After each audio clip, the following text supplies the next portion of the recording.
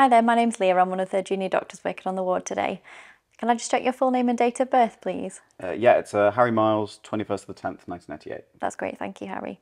Um, so today I've just been asked to come and collect a sputum sample. So because you've had a bit of a chest infection, we just want to check whether there's any bugs that are growing in the sputum that you cough up. Does that sound okay? Mm -hmm. Thank you.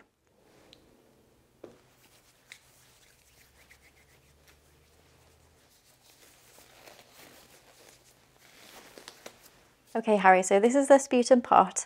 Um, what I'd like you to do is if you feel like you need to clear your chest, to just make sure you're fully sat up, take a few deep breaths, and then cough out whatever you need to into the sputum pot.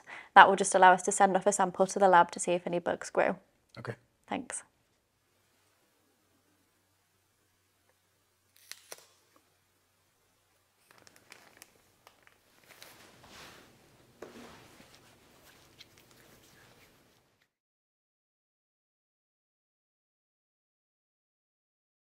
If you enjoyed this video, check out the Geeky Medics collection of over 900 ready-made OSCE stations.